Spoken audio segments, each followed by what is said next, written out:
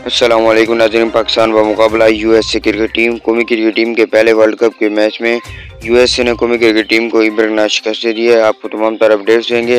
इसके अलावा super over की हाईलाइट्स भी आपको इस वीडियो में दिखाई जाएँगे इससे पहले अगर आप पाकिस्तान क्रिकेट टीम के फ़ैन हैं तो वीडियो को लाइक और चैनल को सब्सक्राइब कर लें। आपको पता चलें कि यूएसए ने पाकिस्तान के खिलाफ टॉस जीत कर पहले बॉलिंग की। पाकिस्तान ने पहले बैटिंग की तो कप्तान बाबर आज़म चौवालीस रन बनाए।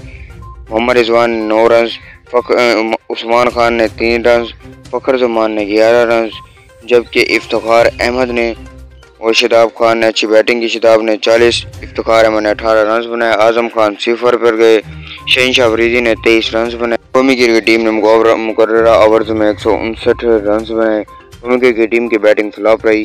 इसके अलावा आपको पता चलें कि जब यूएसए क्रिकेट टीम ने रन चेस किया तो उनकी तरफ़ से अच्छी बैटिंग का मुजाहरा किया गया।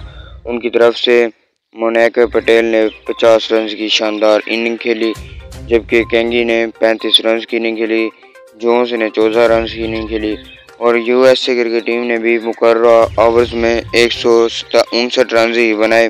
सुपर ओवर के अंदर कौमी क्रिकेट टीम को 18 रन का टारगेट मिला, जबकि कौमी क्रिकेट टीम चेस करते वक्त सिर्फ़ तेरह रन ही बना सकी, और यूएसए ने पाकिस्तान को पाँच रन से हरा